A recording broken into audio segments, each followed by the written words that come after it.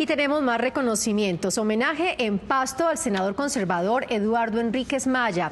Dirigentes gremiales realizaron un acto académico en el Liceo del Pensamiento al que asistieron el Procurador General de la Nación, Fernando Carrillo, y el Contralor General de la República, Felipe Córdoba, para reconocer el desempeño del presidente de la Comisión Primera en la actividad legislativa. El señor presidente de la República me hizo llegar un mensaje muy sentido, muy propio de su estilo, de su estirpe. A él desde Nariño, donde empieza Colombia, muchas gracias. Y él sabe que siempre lo rodearemos en sus iniciativas, en las proyecciones que se merece el país.